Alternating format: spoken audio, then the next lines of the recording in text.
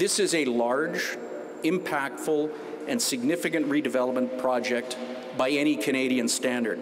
Half a billion dollars. That's how much has been pegged to redevelop Portage Place. The new 1.5 million square foot site will include a $300 million healthcare center. Shared Health, the Winnipeg Regional Health Authority, and the Pan Am Clinic will be tenants at the redesigned Portage Place, offering both healthcare services but also educational and research opportunities. One of the things that I am most excited about is the enhanced ability that we will have in this location to provide access to services for people who live in or near the downtown area. The center will see a primary care, rapid access, addiction medicine, and an extended hours walk-in clinic.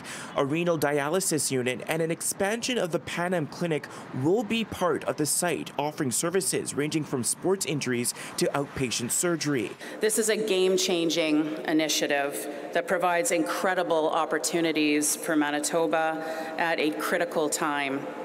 This is an historic Made in Manitoba plan and vision born by listening to people. The plan also includes over 250,000 square feet dedicated to residential development, with plans to build multi-family, affordable, and student housing.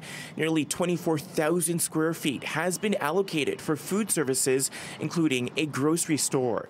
So I will again not make the claim that this undertaking represents by itself the cure-all for our current circumstances.